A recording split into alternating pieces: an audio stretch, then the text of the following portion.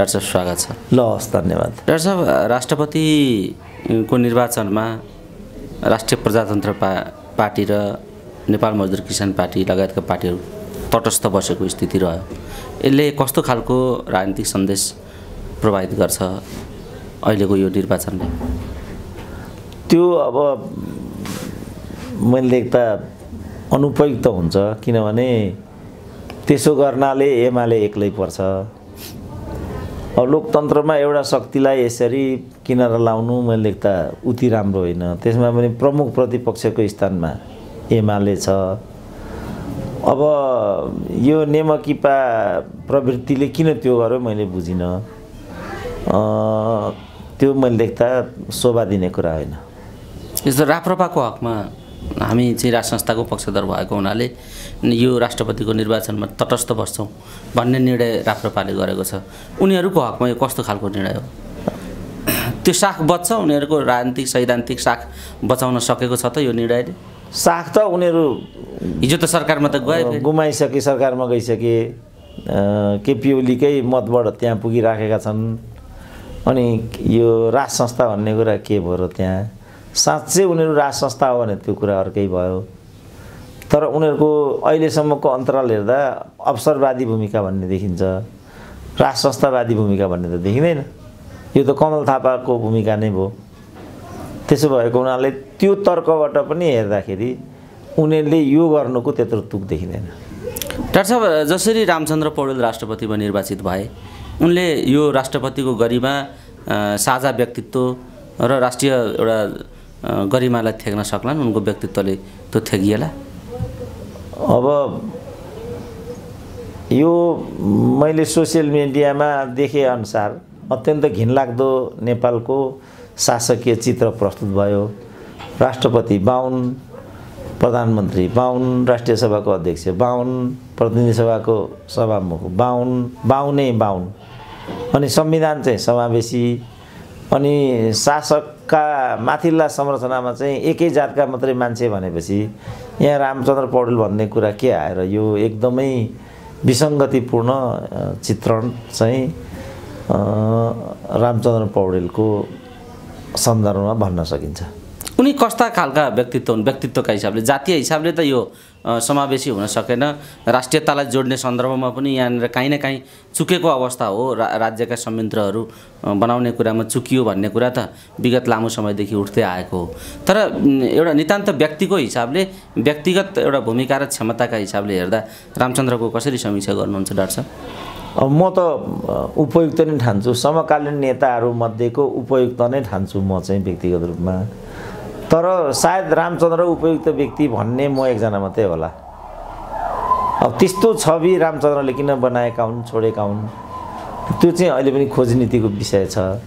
तर मैले देख्दाखेरि चाहिँ राष्ट्र व्यक्तिगत रूपमा समकालीन नेताहरूमा त्यो ठाउँमा पुग्न उपयुक्त पात्र नै हुन् रामचन्द्र पौडेल। डाक्टर साहब समग्रमा राष्ट्रपति निर्वाचनको जुन तानातान भयो यसले एमालेसँगको समीकरण ब- अदल बदल गर्ने ठाउँमा प्रचण्डजी पुग्नुभयो यही राष्ट्रपतिकै कारणले। किन एमाले त्यति अयोग्य मान्छे राष्ट्रपति उठाएको थियो र प्रचण्डले यो निर्णय लिनुभयो लिनुभएको हो? वा अब प्रचण्डले आफू प्रधानमन्त्री बन्ने स्वार्थलाई सिद्ध गर्नका निम्ति मात्रै यो अदल बदल गरेर उहाँको त्यो स्वार्थ यथावत रहिरहन सक्छ? यी दुईवटा विषयलाई तपाईँ कसरी हेर्नुहुन्छ? होइन यो त अब अन्तर्राष्ट्रिय कारणले समीकरण टुटेको भन्ने विषय आइराखेको छ। यदि त्यो कुरा सत्य हो भने विद्युत सम्बन्धी व्यापार राजेन्द्र लिङ्गदेनले चिनसँग गर्न खोजेको त्यसबाट उत्तेजित भएर अन्तर्राष्ट्रिय समुदायले चाहिँ समीकरण तोडेपछि यो समीकरण बनाइएको भन्ने कुरा आइराखेको छ। अब बाँकी कुरा त सार्वजनिक खपतको लागि जे भने पनि भयो। त्यसको मैले लेख्दा त्यत्रो अर्थ बन्दैन किनभने प्रचण्डको अत्यन्त विवादास्पद र अवसरवादी छवि। अनि त्यो अन्तर्गत नै उनले यी हरकत गरी आएको भन्ने कुरा नाङ्गै छ। काङ्ग्रेसको मत लिएर विजयी बने अनि एमालेसँग गठबन्धन गरे एमालेको मत लिएर प्रधानमन्त्री भए अब अहिले चाहिँ काङ्ग्रेससँग छन् भने यस्ता अवसरवादीको त के कुरा गराइयो र जसरी यो रा राष्ट्रपतिको निर्वाचन हुन्छ त्यससम्म मात्रै यो चुनावकालसम्म मात्रै प्रचण्डलाई चाहिँ यहाँसम्म ल्याइएको हो। अब उनको औचित्य राष्ट्रपतिको निर्वाचनसँगै समाप्त हुन्छ भन्ने खालका धेरै कोणहरूबाट विषयहरू उठे। तपाईँले पनि यो गठबन्धनको आयो राष्ट्रपति निर्वाचनसम्म नै हो भन्ने तपाईँको पनि एक खालको विश्लेषण थियो। राष्ट्रपतिको निर्वाचन भयो प्रचण्डको औचित्य पनि सकियो अब। मैले चाहिँ गठबन्धन राष्ट्रपतिको निर्वाचनसम्म हो कहिले पनि भनेको छैन। किनभने मेरो पोजिसन त्यो होइन। मेरो भनाइ चाहिँ यदि त्यस्तो अर्थ लगाएको मिडिया साथीहरूले हो भने पनि मेरो तात्पर्य चाहिँ के हो भनेदेखि अवसरवादीको कुनै भविष्य पनि हुँदैन कुनै छवि पनि हुँदैन कुनै चरित्र पनि हुँदैन के पनि हुँदैन। अब आज यो गर्नेले भोलि त्यो नगर्ला भन्नु पनि केही छैन होइन? हिजो गरेको हुनाले भोलि गरिहाल्छ भन्नु पनि केही छैन फेरि। किन अवसरवादी हो ऊ? अवसरअनुसार उसले निर्णयहरू लिने स्थिति बन्छ। केही पनि कुरा भयो भने त्यो अनौठो हुँदैन मेरो त्यति मात्रै कुरा भयो। यहाँ जे पनि हुन्छ। त्यो जे पनि हुन्छ उहाँका बिचमा तपाईँले विगत दुई महिना झन्डै अढाई महिना अगाडि भाइ विदेश जानुभन्दा युरोप भ्रमणमा निस्किनुभन्दा अगाडि जाँदा जाँदै एयरपोर्टबाट तपाईँले भन्नुभएको थियो फर्किँदाखेरि प्रचण्ड प्रतिपक्षमा बलियो प्रतिपक्षको रूपमा बसेको देख्न पाइयो भने उनलाई उनका निम्ति हामीलाई पनि बोल्न सहज हुन्छ उनका लागि काम गरिदिन सहज हुन्छ भन्नुभएको थियो तर प्रचण्डलाई सरकारै नभई भएन। र त्यसबेला तपाईँले काङ्ग्रेस र एमालेको गठबन्धनमा सरकार बन्नु उपयुक्त हुन्छ अहिले र प्रचण्ड प्रतिपक्षमा बलियो प्रतिपक्षमा बस्नु उपयुक्त छ भन्ने तपाईँको जुन सुझाव थियो। त्यो सुझाव त्यतिखेर त्यति खासै चर्चाको विषय बनेन दलहरूको बिचमा।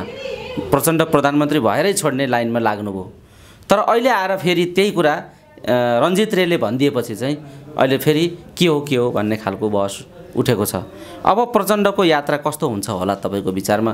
रञ्जित रेका पनि अभिव्यक्ति आइसकेपछि जुन चर्चा भएको छ। अब प्रचण्ड अरूकै हातको खेलौना खेल्ने पात्र कठपुतली पात्रको रूपमा जस्तो देखिन्छ अहिलेसम्म उनको हरकत हेर्दाखेरि। त्यो भयो भने एउटा बिन्दुसम्म यो यात्रा जारी नै रहन्छ। अब विरोधाभास के छ भनेदेखि रको चिफले त्यो बेला जुन हुणलो बालुवाटारमा हाले त्यो बाढीले बगाएर नेपालको राजनीतिलाई यहाँसम्म ल्याएको र त्यो बाढीमा तैरिने एउटा महत्त्वपूर्ण पात्रको रूपमा चाहिँ केपी ओली पनि हुन्। त्यस्तो बेलामा केपी ओलीलाई मात्रै एक ल्याएर कुटिरहनु उचित हुँदैन भनेर चाहिँ दक्षिणी मित्रहरूले ठहर गरे भने अर्को नतिजा आउन पनि सक्ने भयो। होइन भने अहिले नै प्रचण्डलाई फालिहाल्ने स्थिति बन्ला भने जस्तो मलाई लाग्दैन। किनभने प्रचण्डको हरकत हेर्दा त जे गरे पनि हुन्छ भन्ने देखिन्छ। किनभने अघि पनि मैले भनिहालेँ अब नेकपा तोडफोड गर्ने कुरा भयो माकुनेलाई शिखण्डी बनाइयो त्यसपछि चुनावमा गइयो काङ्ग्रेससँग गठबन्धन भयो त्यसपछि ओलीसँग भयो फेरि काङ्ग्रेससँग हुँदैछ। अब यस्ताको त के कुरा गरायो र बाबु यो त एकदमै योभन्दा तल त राजनीति ल्याउने कुनै ठाउँ हुन्छ र? यसलाई पनि उनीहरू सैद्धान्तिकरण गरेर भन्छन्। राष्ट्रिय सहमति भन्छन् के के भन्छन्? अब के शब्दबाट यिनीहरूलाई चित्रण गर्ने हो त्यो मसँग शब्द भण्डार नै सिद्धिसक्यो कि? डाक्टर साहब यो सिद्धिँदा सिद्धिँदै पनि परिघटनाहरू बाहिर आइराखेकै छन्। राष्ट्रपतिको निर्वाचन सम्पन्न भएको छ। जसरी प्रचण्डबारे आशंकाहरू उब्जिएका छन् एकातिर मुद्दाको स्थिति पनि छ। फौजदारी अभियोगको मुद्दा पनि प्रचण्डको आज पेशीमा चढेको छ। सायद अब कुनै आदेश हुन्छ होला कुनै न कुनै इजलासबाट। अब यी विषयहरू पनि सँगसँगै आएका छन् र प्रचण्डले विश्वासको मत लिनुपर्ने स्थिति पनि आएको छ। यसलाई कसरी हेर्नुहुन्छ डाक्टर साहब? काङ्ग्रेसले फौजदारी अभियोग लागेको अवस्थालाई प्रश्न उठाइदियो भने प्रचण्डको अभिगत कस्तो हुन्छ होला भन्ने पनि अहिले अड्कलबाजी भइराखेका छन्। होइन अब नौ दलको वक्तव्य आइसक्यो। यिनीहरू धेरै तलसम्म झर्न सक्छन् र निकै नै तुच्छ राजनीतिक शक्ति हुन्। नेपालको राजनीतिक अभ्यास पनि तुच्छतापूर्ण छ। अत्यन्तै घृणित तर चाहिँ खेदजनक एउटा प्रक्रियाबाट अगाडि बढिरहेछ। तर त्यति पनि तल यिनीहरू आउलान् भने जस्तो चाहिँ मेरो अहिले आकलन छैन। किनभने उनीहरूले अदालतलाई पनि धम्क्याउँदै गरेको स्थिति छ।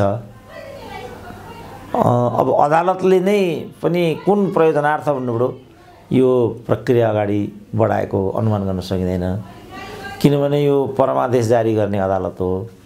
त्यो परमादेशको कारणले नै नेपालको राजनीतिमा यो हुनलो अगाडि बढेको पनि प्रष्टै छ। अब तर यो अहिलेको प्रचण्डको मुद्दामा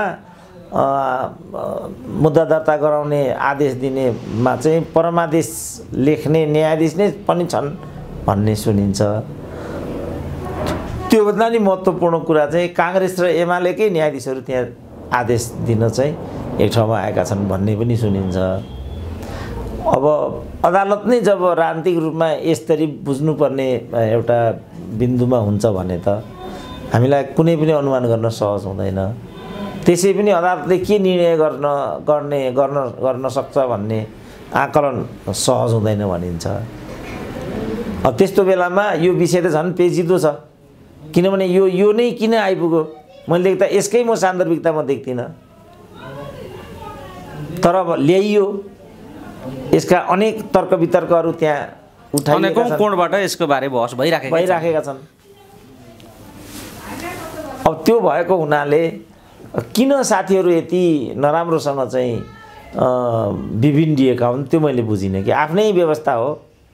यसलाई यति कुरूप एउटा स्वरूप दिनुपर्ने।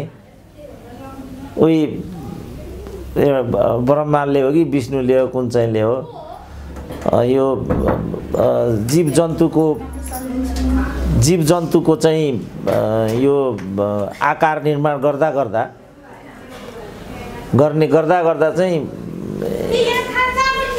यसको गरे उसको गरे गर्दा गर्दै चाहिँ उठको एउटा आकार निर्माण गर्नुपर्ने स्थिति आउँदाखेरि चाहिँ कस्तो बनाउने भन्ने आएछ त्यहाँ। अनि यस्तो पो हुन्छ कि उस्तो पो हुन्छ कि भन्दा भन्दै उठ बनेछ अरे भन्ने एउटा कहावत छ क्या। अब यो त सिस्टम उनीहरूले आफै आफ्नै सिस्टम आफूले ल्याएको सिस्टम हो। अब मलाई अचम्म लाग्छ के भने नेपाली काङ्ग्रेसको जुन भूमिका भइरहेछ अहिले म त्यो कल्पना पनि गर्न सक्दिनँ। प्रचण्ड त चरम अवसरवादी पदको लागि जे पनि गर्ने मान्छे भन्ने चाहिँ नाङ्गै छ अघि पनि उल्लेख गरियो। अब यहाँ अदालत पनि आइलाग्यो काङ्ग्रेस पनि आइलाग्यो। बुझिन सक्ने एउटा विचित्रको स्थिति उत्पन्न भयो क्या देशमा अहिले। यसको वास्तवमा फोरफार गर्न त्यति सजिलो छैन। यो राष्ट्रपतिको निर्वाचनले मुख्य गरी के के कुराको पर्दा खुलो खुलायो डाक्टर साहब? के के कुराको पर्दा खुलो? होइन यसले त अहिले राष्ट्रपति हुने पालो जनजातिको थियो। जनजातिहरू जनजातीय ठाउँमा इतिहास रचना गर्नबाट चुकिएको एउटा त्यो पर्दा खुल्यो। होइन? बाहुनलाई गाली गर्दा गर्दै नथाकेका जनजातिहरू जब इतिहास निर्माण गर्ने कुरा हुन्छ अनि तटस्थ बस्ने निर्णय तब। उनीहरू चाहिँ चुक्ने बिन्दुमा तटस्थले पनि मानेन। चुक्ने नै। जस्तो प्रदेश नम्बर एकमा राई र लिम्बू लिम्बू एक भएर ठिक छ अहिले लिम्बुवान पनि सम्भव भएन खम्बुवान पनि सम्भव भएन किराँत प्रदेश गरौँ न त भनेको भए त कुरा सिद्धिहाल्थ्यो। अब उनीहरू लडालड गरे। किराँत कोशी भनेको भए पनि हुन्थ्यो भनिरहेछन् उनीहरू। होइन अहिले लडिरहेछन् अहिले। होइन त्य- त्यस्तो हावादारी कुरा गरेर के हो किराँत कोशी भनेको? त्यो प्रदेश भए पनि हुन्छ भन्ने आवाज पनि उठाइराखेका होइन छन् अब के त्यसको के किराँत कोशी भन्यो? लिम्बुवान खम्बुवान? त्यति बेला के मानेको? किराँत त मिलन बिन्दु हो नि त। लिम्बू पनि राई पनि किराँत उद्भवको भन्ने छ नि त। र यहाँ काठमाडौँको राज्यलाई त्यो बेला इसापूर्वको यलम्बरकालीन राज्यलाई चाहिँ किराँतकालीन नेपाल भनिएकै छ। अब ती किराँतहरू को को हुन् त? राई हुन् लिम्बू हुन् सुनुवार हुन् खम्बु हुन् हुन् को हुन् त? बाह्र समूहलाई चाहिँ किराँत भनिएको छ। बाह्र समूह समूहको समष्टि चाहिँ किराँत सभ्यता हो। तर उनीहरू लिम्बुवान अलग चाहियो खम्बुवान अलग चाहियो भन्न थाले। त्यसपछि अर्को छट्टु त्यो परबाट कहाँ हुन्छ? भने कोशी प्रदेश तोपिदियो। त्यति बेला ती जनजाति भन्ने के हेरेर बसेको थियो त? अब अहिले फेरि काट्छौँ र कुट्छौँ भन्छन् फेरि। काट्ने र कुट्ने भन्दा त कुरै आउँदैन उनीहरूबाट त। अब काटेर कुटेर समस्याको समाधान हुने हो। त्यसपछि उनीहरू अब अब ठिकै छ त्यहाँ त्यो घटना भयो। अब अहिले त इतिहास रचना गर्ने समय थियो नि त। हुइप पनि लाग्दैन थियो। मैले अघि पनि उल्लेख गरेँ। अब यता के भयो त भन्दा राष्ट्रपति त्यही जातिबाट प्रधानमन्त्री त्यही जातिबाट सभामुख त्यही जातिबाट राष्ट्रिय सभाको अध्यक्ष त्यही जातिबाट अब प्रधान न्यायाधीश पनि त्यही होला प्रहरी प्रमुख हुन्थे होला सशस्त्र प्रमुख हुन्थे होला कमान्डर इन चिफ त उपाध्याय ब्राह्मण छँदैछन् अनि अब यो त जातीय एउटा विद्वेषको एउटा नग्न रूप भएन यो। एकातिर समावेशी राज्य व्यवस्था भनेर संविधानले परिकल्पना गर्छ। यसको मसिया म हुँ गणतन्त्रको पिता प्रचण्ड हुन्। माओवादीहरू गौरव गर्छन्। अनि व्यवहारमा जाँदाखेरि चाहिँ यस्तो चाहिँ एकल जातीय स्वरूप देखा पर्छ। त्यसको नेतृत्वदायी स्थानमा स्वयं उनीहरू छन्। यस रूपमा उनीहरू मैले लेख्दा चुक्दै छन्। यसरी एउटा एउटा पर्दा यो खुलो। अरू अरू अरू यसको अरू बाटो के छ? मुख्य त अब यसले गर्दा त अब के हुने भयो भने पछिसम्म पनि यो प्रश्नमा त कसरी शिर ठाडो बनाउने त? अब सामाजिक विद्वेषको कुरा भोलि हुन जाने भयो।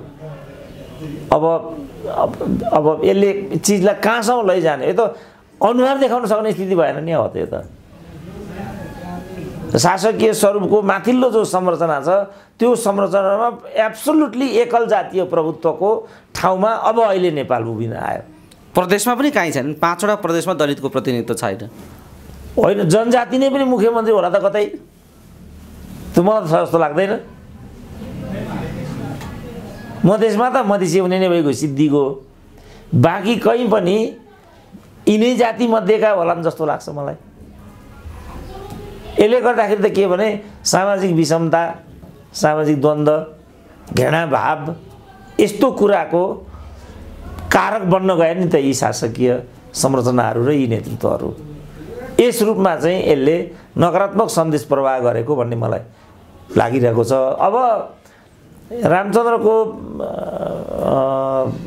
निर्वाचन हो भनेदेखि रामचन्द्र कहिले पनि सन्तुलित भूमिकामा छैनन्।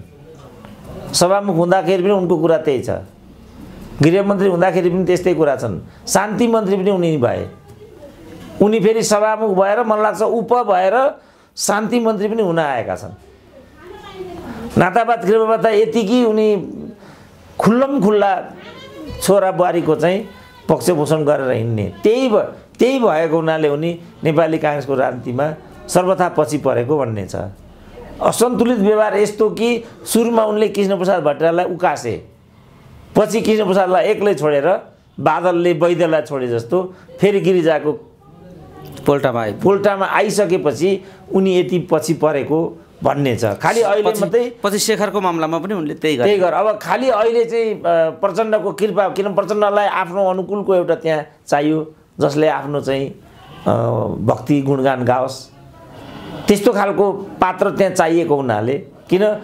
शेरबहादुरै हिसाबको भयो भने पनि भोलि उपयोग गर्न नसकिएला। एमालेबाट प्रभावित हुने खालको भयो भने त झन् नहुने कुरा भयो। त्यसकारण प्रचण्डले यो व्यूह रचना गरेको देखिँदा भोलि मलाई लाग्छ राष्ट्रपतिको पद चाहिँ विद्याको भन्दा नि बढी विवादास्पद भूमिकामा उभिन्छ भन्ने कुरामा म प्रष्ट देखिँदा त्यो हिसाबले पनि यो निर्वाचन चाहिँ त्यति मैले सुखद होला व्यवस्थाका लागि त्यति लाभप्रद होला राजनीतिक सन्तुलनका लागि पनि त्यति उपयुक्त होला भन्ने त लाग्दैन मलाई।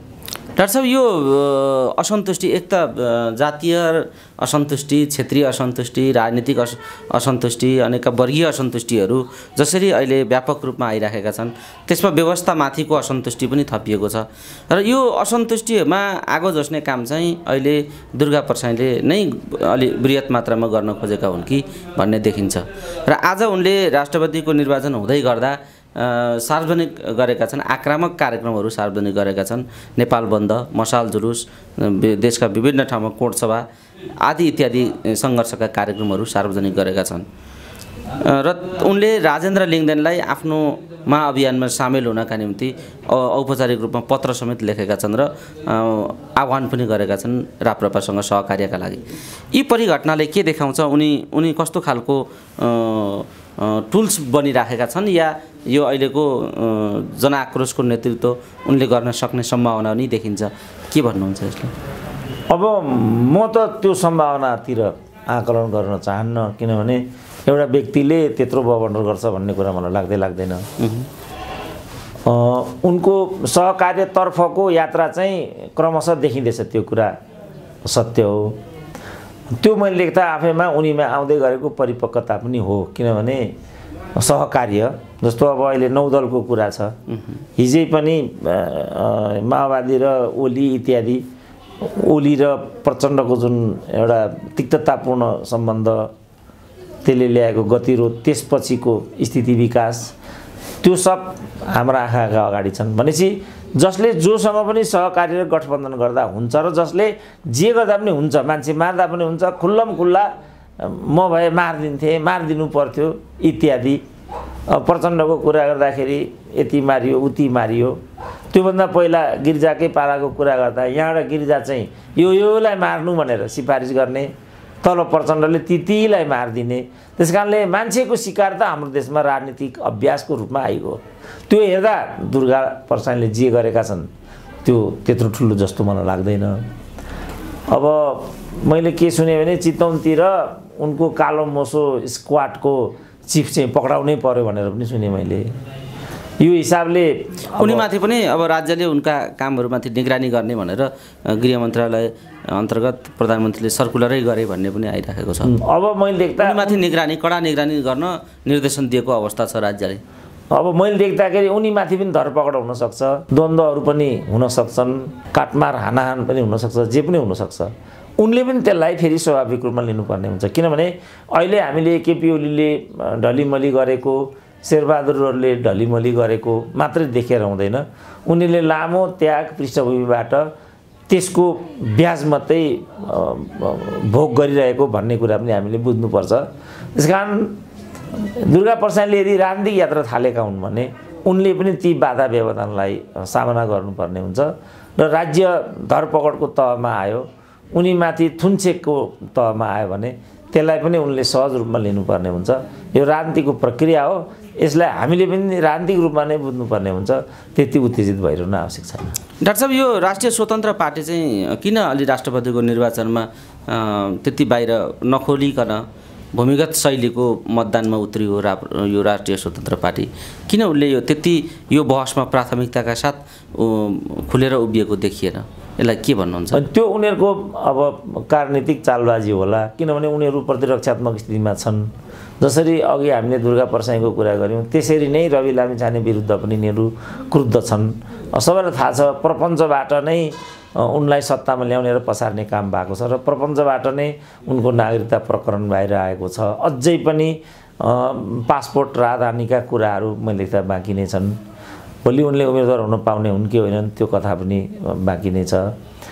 अस्तित्व रक्षाको करिब करिब अन्तिम प्रहरमा रवि लामिछाने म देख्छु। त्यसको एउटा छटपटाट उनको यो कार्यनीतिमा अभिव्यक्त भएको हुनुपर्छ भन्ने मेरो आकलन छ। कुराकानीको अन्तिम चरणमा छौँ हामी। यो पछिल्लो समय सर्वोच्च अदालतले जुन फैसला गरिदियो र प्रचण्ड विरुद्ध फौजदारी अभियोगको रिट निवेदन दर्ता भयो त्यसलाई माओवादीहरूले ठु साह्रै ठुलो आतङ्कको विषय बनाए र एक ठाउँमा आएर सङ्घर्ष गर्ने एउटा सहकार्य गर्ने निर्णय पनि माओवादी र पूर्व माओवादी पङ्क्तिले गरेको स्थिति छ कार्यगत एउटा एकता गरेर जाने भन्ने निर्णय उनीहरूले गरेका छन्। यो उनीहरूले यो विषयलाई लिएर देखाएका व्यक्त गरेका अभिव्यक्तिहरू विचारहरू र उनीहरूले गरेका सहकार्यका प्रयत्नहरूलाई कसरी हेर्नुहुन्छ?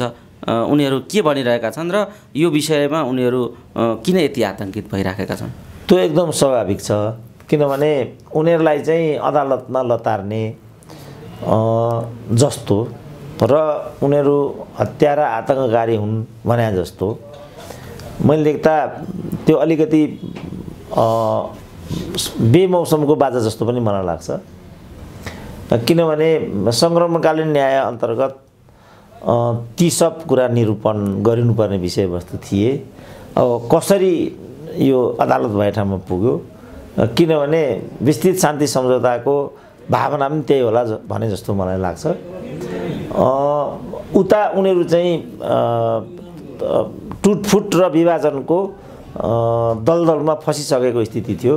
सँगसँगै त्यो विभाजनबाट कसैले पनि कुनै प्रतिफल नपाइरहेको त्यो स्थिति पनि थियो।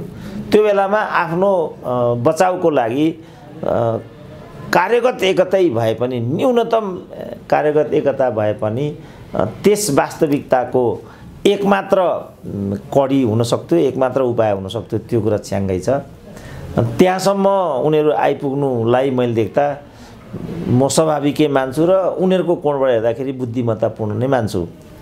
जहाँसम्म आत्तिने भन्ने कुरा छ त्यो कारण उनीहरू आत्तिएका छन्। बा अदालतले ड्याम्म एउटा निर्णय गरिदियो भने त रवि लामिछानेलाई फ फुटपाथमा ल्याउन सक्नेले अनि त्योभन्दा एक फुली माथिको त हो प्रधानमन्त्री भनेको? उसलाई पनि नाङ्गेझार नपार अदालतले ड्याम्म निर्णय गरिदियो भने त कुरा सिद्धिको त। सिद्धिको। त्यसबाट उनीहरू धेरै नै आतङ्कित भएका आत्तिएका हुन्। अब हामीले चाहिँ विवेक प्रयोग गर्नु पर्यो यो चिज कस्तो हो? के कारणले यो चिज भयो? के प्रचण्डलाई जेलमा लगेर थुन्दा मात्रै नेपाली समाजले चाहिँ अमन चयन र शान्ति पाउने हो? पीडितहरूले चाहिँ राहत पाउने हुन्? के हो त? बा यसले गर्दा समाज थप द्वन्द्वमा जाने हो कि? किनभने माओवादीहरू उत्तेजित भएर मैदानमै आयो भने पनि त्यो मेरो लागि अनौठो हुँदैन। समाज फेरि हिंसामा जाने हो कि? द्वन्द्वको कथा दोहोरिने हो कि? त्यस कारण हामीले यसमा चाहिँ परिपक्व हुनुपर्छ विवेक प्रयोग गर्नुपर्छ। परिपूरणको सिद्धान्त सङ्क्रमणकालीन न्यायको बाटो क्षतिपूर्ति दिनुपर्छ भने पीडितलाई क्षतिपूर्ति दिनुपर्ने। खास गरी सङ्क्रमणकालीन न्यायको सिद्धान्तको चाहिँ मुख्य मर्म के हो भने यसमा अरूले आम माफी लगायतको जो जे पाए नपाए पनि मूल नेतृत्व चाहिँ आफूले गरेको कमी कमजोरीको लागि दण्डभागी हुनैपर्छ होइन भने पीडित पक्षले चाहिँ राहत महसुस नगर्ने हुँदा फेरि लामो समयसम्म त्यो द्वन्द्वको घाउ चाहिँ बल्झिनै रहन्छ। त्यस कारण सङ्क्रमणकालीन न्यायले चाहिँ के भन्छ भनेदेखि जसले जघन्य अपराध गरेको छ उनीहरू दण्डित हुनैपर्छ भन्ने कुरा चाहिँ सङ्क्रमणकालीन न्यायको सिद्धान्त हो। सायद यो कारणले यिनीहरूले चाहिँ सङ्क्रमणकालीन न्याय र बेपत्ता छानबिनको जुन सँग जोडिएको जुन दुईवटा समितिहरू छन् ती समितिहरूलाई चाहिँ परिणामदायी हुनबाट रोकेका हुन् कि किन रोक्ने त यिनीहरू नै हुन् नि। रोक्ने त हामी होइनौँ। मूलत लामो सत्तामा बस्ने भनेका देउपा र प्रचण्डहरू नै हुन्। त उनीहरूले नै यसलाई चाहिँ लन्ठ्याएको भन्ने कुरा प्रष्टै देखिन्छ। अब उनीहरू नै कोपमा पर्ने स्थिति आयो भनेपछि यसको कारक त उनीहरू नै हामी त होइनौँ नि। तर दुर्भाग्य के भने उनीहरूको यो अकर्मण्यताको कोपमा चाहिँ नेपाली समाज पर्न जाने हुन्छ। बदलाको भावना त्यहाँ बढेर जान्छ। हिंसाहरू हुन्छन्। अशान्ति द्वन्द्व बढेर जान्छ। अब त्यसबाट त देश र जनतालाई त पहिल्यै ऊ चाहिँ शिथिल भइसकेको छ। अब यो खालको द्वन्द्व झेल्ने र सामना गर्न सक्ने स्थितिमा नेपाली समाज छँदै छैन। त्यसकारण पनि हामीले चाहिँ संयमित संयमित हुनु परेको छ। मलाई नेमी साथीहरू यसमा चाहिँ हामीमाथि यत्रो अन्याय छ अन्यायको पक्षमा मुखर नबोलिदिने यावत कुराहरू भन्छन्। म बाचा म लाचार छु। समाजलाई द्वन्द्वमा पठाएर अब निरीह नेपाली जनताले त्राण पाउँछन् भन्ने मलाई लाग्दै लाग्दैन। बरु क्षमाशीलता सबभन्दा ठुलो हुन्छ। दानमध्ये क्षमादान सबभन्दा ठुलो दान यसै पनि पूर्वीय दर्शनले भन्छ। सम्भव हुन्छ भने क्षमादानको बाटोमा जाउँ। उदात्त भावनाबाट प्रचण्डहरूले पनि आफूले गरेका हरकतका लागि यी पीडितहरूसँग चाहिँ क्षमा याचना गरेर राज्यले परिपूरणको बाटोबाट क्षतिपूर्ति दिने र अपराधीलाई उचित एउटा दण्डको दायरामा ल्याउने। योभन्दा यो समस्या समाधानको अर्को बाटो म देख्दिनँ। तर उनीहरू कसरी अदालतको चाहिँ ढोकासम्म पुगेका हुन् कसरी चाहिँ प्रचण्डलाई कोच्नुपर्छ भन्ने धारणा बजारमा ल्याएका हुन् त्योमा चाहिँ मेरो मैले किनभने मैले विस्तृत शान्ति समुदायभन्दा परबाट समस्या समाधानको लागि उपयुक्त विधि नै देखाएको छैन मैले। र त्यो विधिले चाहिँ जे कुरा परिकल्पना गरेको छ त्यो विधिमा आउनु सबैको हितमा हुन्छ। बाँकी त अब हामीले विषय देखाइदिने हो। हाम्रो हातमा केही पनि छैन। यहाँ आएर उनीहरूले यसलाई सम्बोधन गर्नु सर्वकल्याणकारी हुने चाहिँ म देख्छु। मेरो सुझाव यही नै हुन्छ। हस् डाक्टर साहब समय दिनुभयो। यो महत्त्वपूर्ण समय र संवादका लागि यहाँलाई धेरै धेरै ल हस् धन्यवाद।